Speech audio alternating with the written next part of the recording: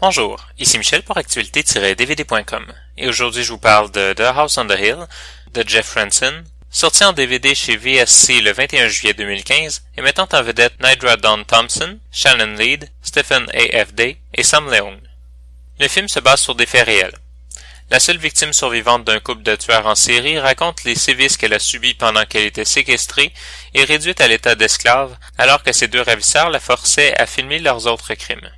Le film n'est pas seulement basé sur des faits réels, mais utilise aussi, de manière sporadique, des extraits d'une vidéo enregistrée par le vrai Leonard Lake, où il explique les raisons de ses agissements ainsi que sa philosophie de vie.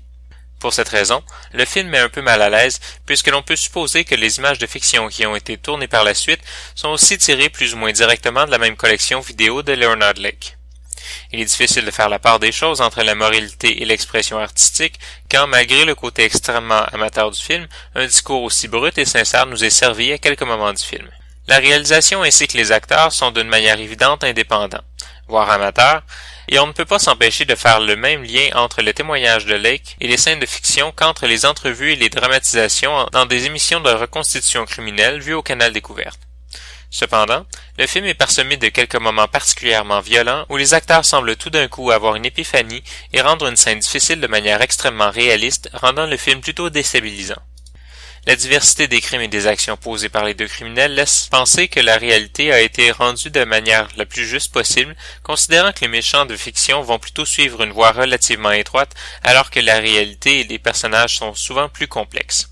On ne sent pas que le film a tenté d'adoucir, d'esthétiser ou de rendre inutilement choquant des événements qui, dans leur état le plus brut, forment déjà un récit captivant, aussi morbide puisse-t-il être.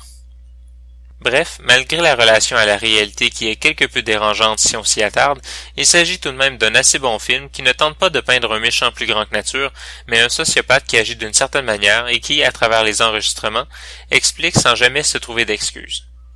Le film est présenté en anglais, sans sous-titres et sans aucun supplément pour le DVD.